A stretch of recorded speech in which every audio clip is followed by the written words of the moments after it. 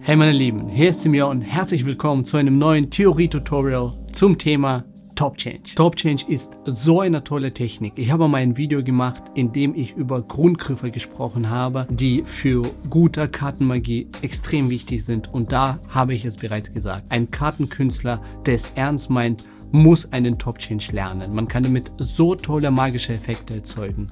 Unverzichtbar.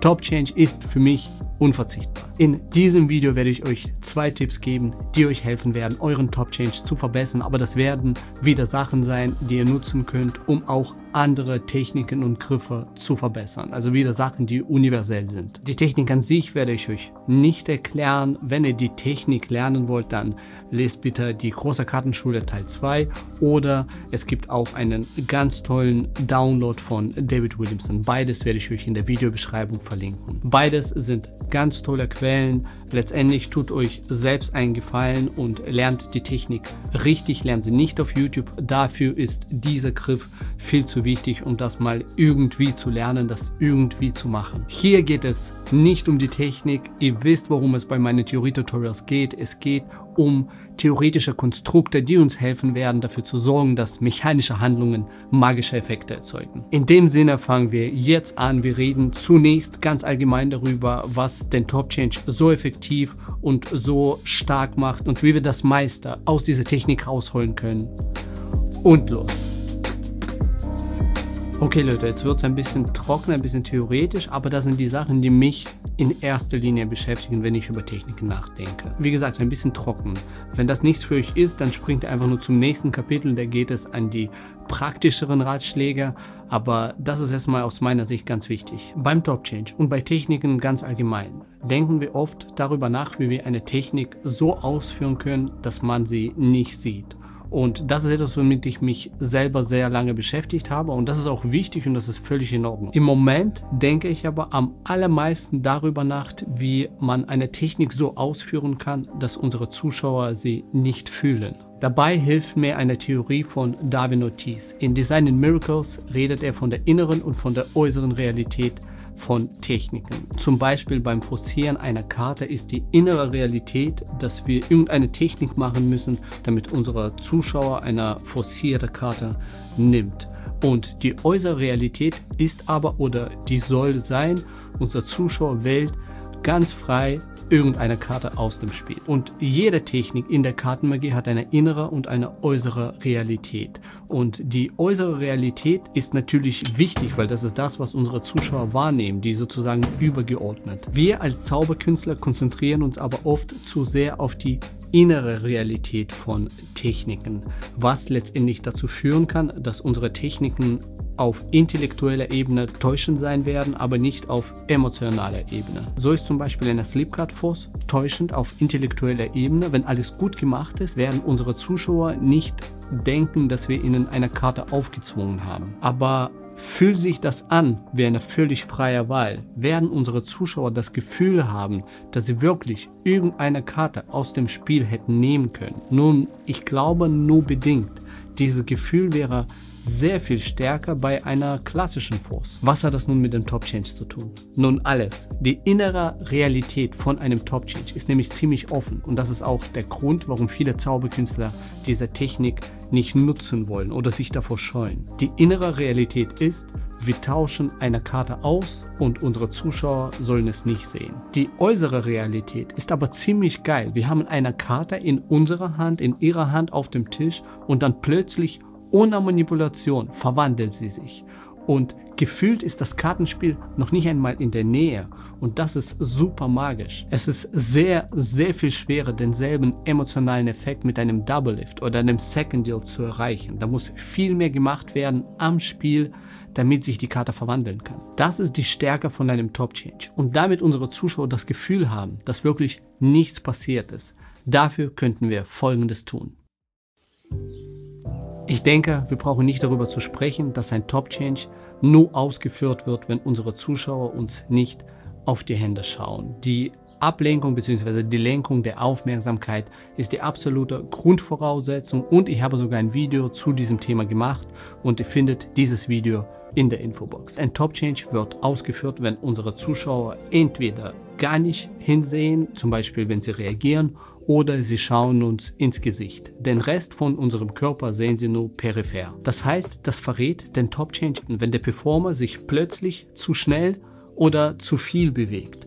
Und das verrät die Technik am allermeisten, wenn man sich sonst nicht so bewegt. Das sieht dann immer so aus, als ob man plötzlich und unerwartet einen Stromschlag bekommen hat. Es ist nämlich so, dass jeder von uns beim Reden, beim Kommunizieren und dementsprechend auch beim Zaubern eine gewisse Baseline hat. So eine Baseline an Energie. Und jeder Ausschlag nach oben unserer Zuschauer werden das fühlen. Sie werden vielleicht nicht denken, dass wir damit eine Technik kaschieren. Aber sie werden auch nicht im Nachhinein sagen können, dass wir nichts gemacht haben. Die werden fühlen, dass irgendwas passiert ist. Unser Ziel ist aber, sie zu sagen, ey, da war nichts, du hast nichts gemacht, da wollen wir immer hin. Wir sollten also versuchen, beim Zauber zu bestimmen, was unsere Baseline ist. Und dann beim Performen sollte man idealerweise nicht drüber gehen. Die sehen uns einfach nur in die Augen und dann sehen sie keine Zuckungen in den Schultern, keine großen Bewegungen, keine Körperdrehungen, die zu groß, zu viel sind. Und dadurch werden sie das Gefühl haben, dass nichts passiert, dass wir einfach mit ihnen reden, kommunizieren und dann ist eben ein magischer Effekt eingetreten, ohne dass wir irgendwas gemacht haben. Ich weiß, das ist keine große Erkenntnis, aber ich habe es zum ersten Mal realisiert, nachdem ich Chris Power gesehen habe, wie er zaubert. Ich lasse euch in der Videobeschreibung einen Link zu seiner Lecture und dort werdet ihr es selbst sehen können. Er macht alles so langsam, in Zeitlupe fast und die Zuschauer fühlen gar nichts und das ist wie echte Magie. Richtig toll. Seit ich darauf achte, sehe ich, wie viele Zauberer sich ganz normal, elegant und schön bewegen und dann machen sie einen Top-Change und plötzlich geht ein Stromschlag, wie ich schon sagte, ein Stromschlag durch den ganzen Körper und das ist super verräterisch. Ich denke, man sollte wirklich darauf achten, nicht nur beim Top-Change, bei allen anderen Techniken. In dem Buch von Henning Nelms, Magic and Showmanship, redet er darüber, dass wir als Zauberkünstler es vermeiden sollten, unsere Arme zu überkreuzen beim Zaubern. Und wir sollten es auch vermeiden, uns zu sehr zur Seite zu drehen, weil das unsere Kommunikation zum Publikum hindert. Das ist etwas, was man einfach mal im Theater nicht macht. Das ist keine gute Körpersprache. Das sieht dann sofort so aus, als ob man irgendwas verheimlichen, verstecken will. Das macht man aber sehr oft beim Top Change. Man dreht sich zum Beispiel als Rechtshänder nach rechts und dann überkreuzt man die Hände, man macht eine Geste mit der linken Hand, um äh, die Bewegung, die man machen muss beim Top Change zu verstecken. Und das machen sehr viele. Und ich habe es selber sehr lange gemacht. Und man macht das, weil das natürlich funktioniert.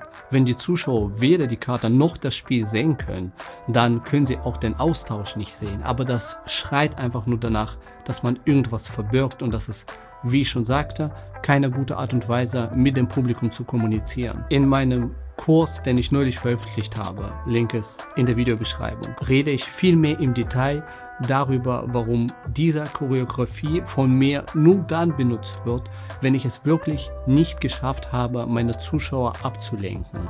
Wenn ich also merke, dass aus welchen Gründen auch immer sie mir immer noch auf die Hände schauen, nur dann würde ich auf diese Choreografie zurückgreifen. Aber ansonsten würde ich es immer versuchen, den Top Change viel offener und viel freier zu machen. Da gibt es einfach nur bessere Choreografien, die dieses magische Gefühl erzeugen können. Und selbst wenn man diese Choreografie nutzt, selbst dann kann man sie verbessern, indem man sich nur für eine Millisekunde zur Seite dreht, nur für eine Millisekunde die Hände überkreuzt und dann aber sofort seinen Körper aufmacht. Man macht also keine Geste zur Seite, was alles sperren würde, diese ganze Energie sperren würde, sondern man macht den Körper sofort auf, damit die Energie wieder zu unseren Zuschauern fließen kann und das fühlt sich wieder viel besser an, weil man nur ganz kurz in dieser ungünstigen Position war. Das ist etwas, was ihr bei ganz vielen Techniken bedenken sollt.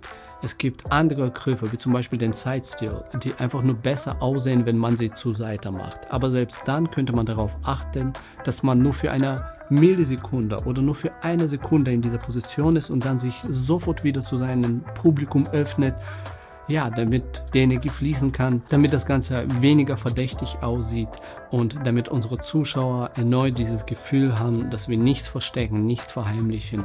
Da wollen wir hin. So, das waren nur zwei Tipps, aber das sind für mich die Dinge, die für einen guten Top Change am allerwichtigsten sind. Und das sind die Dinge, über die ich am meisten nachdenke. Und das sind auch die Dinge, bei denen ich die meisten Fortschritte sehe, wenn ich sie dann in der Performance wirklich anwende. Ich habe das Gefühl, das war heute sehr theoretisch. Schreibt mir also bitte in die Kommentare, ob es euch trotzdem gefallen hat. Top Change ist nun mal so eine Sache, über die man sehr viel theoretisieren kann. Ist das ein Wort? Ich weiß es nicht. Letztendlich muss man die Technik einfach machen in der echten Welt vor echten Menschen und fühlen, wie toll sie ist, wie magisch sie ist. Ich hoffe, ihr werdet das machen. Ich wünsche euch ganz viel Spaß damit. Das war euer Simeon. pictures.